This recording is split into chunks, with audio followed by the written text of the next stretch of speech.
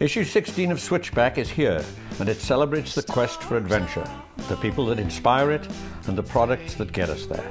In Wonder, Brian Schatz brings us the tale of Pushkar Shah as he circumnavigated the globe along a meandering path of his own design. Roy Walloch then follows Rebecca Rusch on her record-breaking ride of the Kokopelli Trail. And from across the pond, Augustus Farmer introduces us to his new riding companion, Cadence. Gravel explores the 27.5 revolution. We look at its origins and chart its course to becoming the new standard. We then asked some of the biggest names in the industry a question. Will 27.5 kill the 26-inch wheel? And even reign supreme over the 29er? In Hug the Bunny, Dan Capel tells of a bicycle that connects him to his father.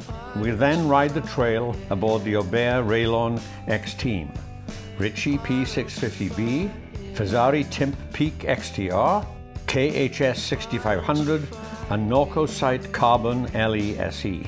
We test a collection of 27.5 products from SR Suntour, Panaracer, Crank Brothers, Mavic, and more. Traveling to Boise, Idaho, we dine at State and Lemp before sampling turkey, beef, and bison energy bars.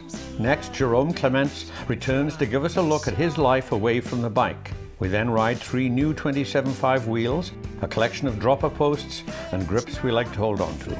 Issue 16 of Switchback is available now at all Barnes & Noble locations in the US and at competitivecyclist.com.